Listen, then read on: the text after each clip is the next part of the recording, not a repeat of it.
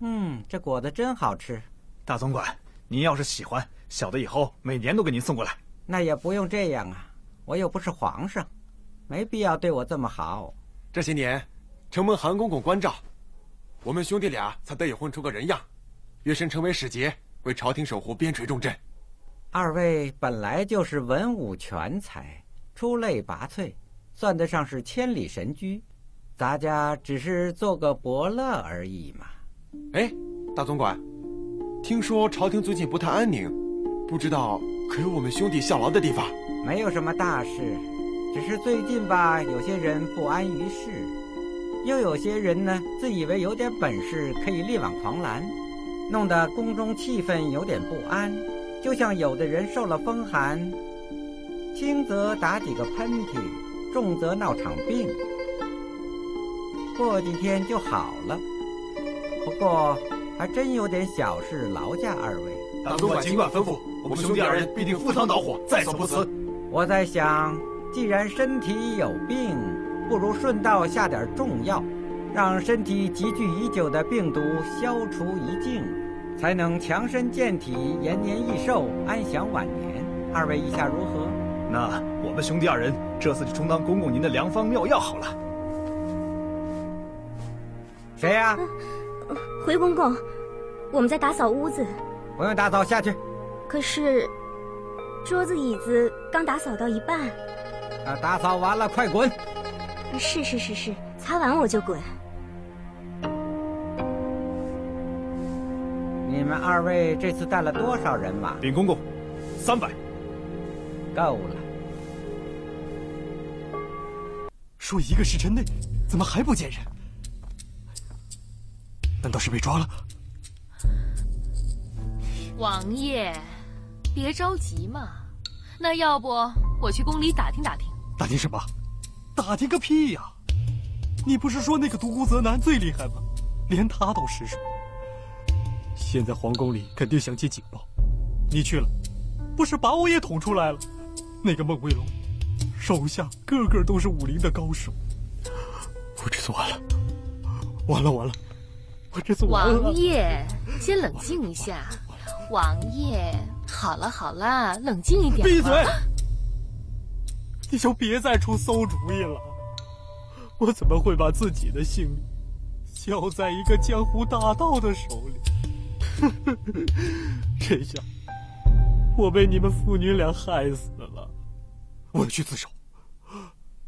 说不定皇上会念在兄弟情谊，放我一马。我去自首。王爷，我去。别天真了，八王爷。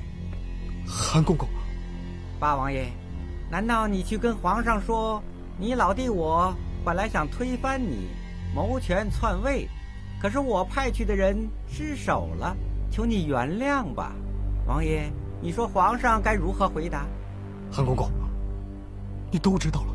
要想人不知，除非己莫为。你说是不是啊，王爷？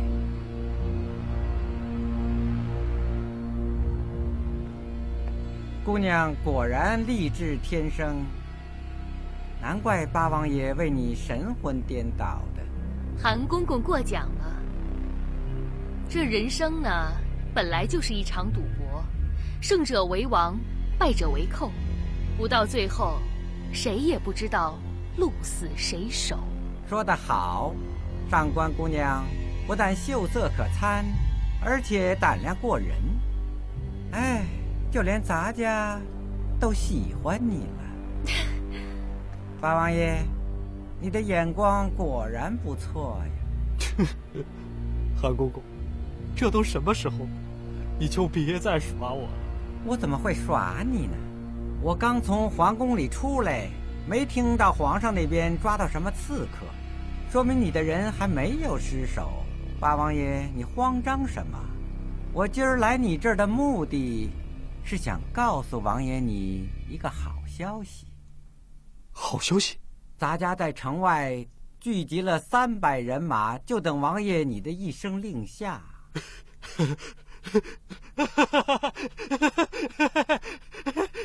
可是玉玺还没到手呢。到手也只是锦上添花。谁说没有玉玺就不能登基了？规矩是人定的，不是吗，王爷？对呀，说的没错。哼，没有玉玺又怎么样？有韩公公就行了。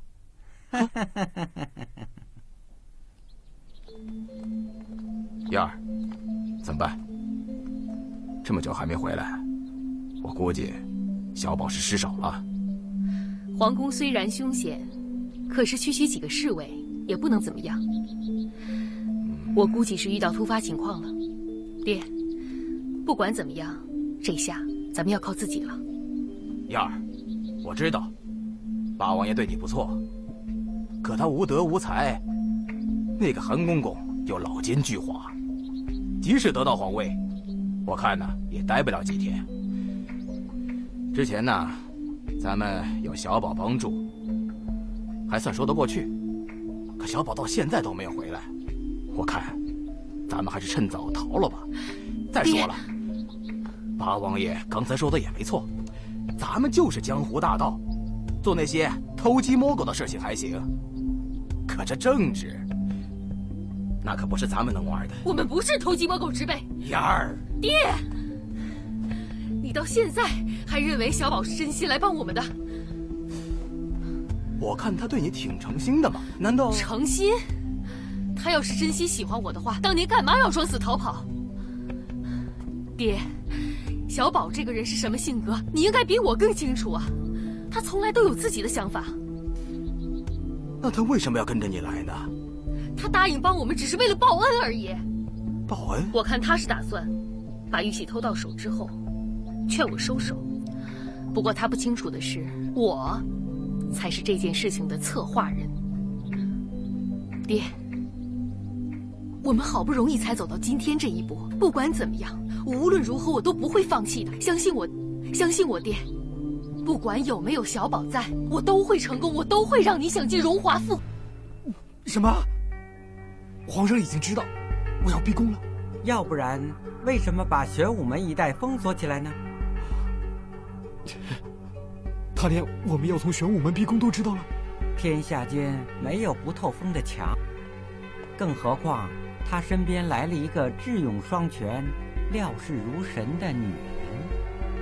女人？什么女人？王爷还记得那天咱们到御花园去给皇上请安吗？记得。对了，那些茶点，切，够烂。就他那点东西，我说的是他身边多了一个女扮男装的带刀侍卫，我赶紧派人给我暗中打听，原来她就是孟威龙的师妹，名震白马镇、卧龙镇的第一女捕快顾丹丹。顾丹丹？难道他们说的是爱丁堡的媳妇？这个女人还真不是浪得虚名。来了不到几天，听说皇上对她言听计从，还让孟威龙把她的孩子都带到宫中啊！哼，这，还有孩子？这 他进宫是带刀还是带孩子？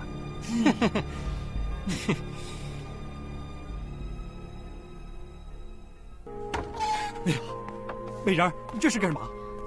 想走啊？我知道你见过韩公公了，我也知道你准备放弃了，不走干嘛？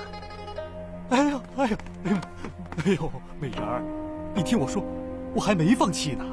老韩是支持我的，他知道我们准备私下行动，也没生气，只是提醒我们，皇上已经有所提防。哎呀，最好按兵不动，等待适当的时机。我你还真信呢？怎么不信？玄武门都被封锁了，说明我们的计划败露了。我根本就没打算从玄武门下手。啊！我早就做了两手准备，而这玄武门，只是我的诱敌之计。哎，我看，我们还是算了，听老韩的。我当我的影子皇帝，你当你的皇后，怎么享享清福。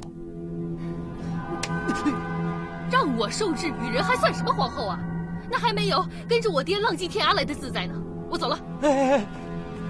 哎呀，美人儿，你一个女流之辈，怎么野心这么大呢？好了，你听我说，女人最大的幸福，就是有一个爱自己的男人。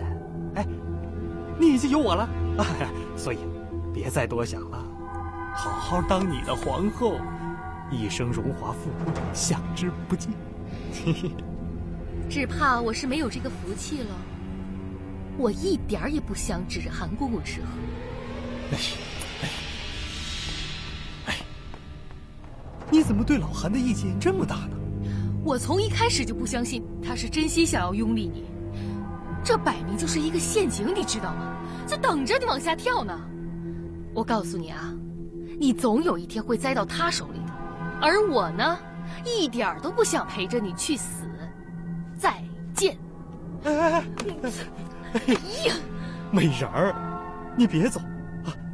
咱们好好的，别为了这些小事伤了。小事儿，谋权篡位可是要诛九族的。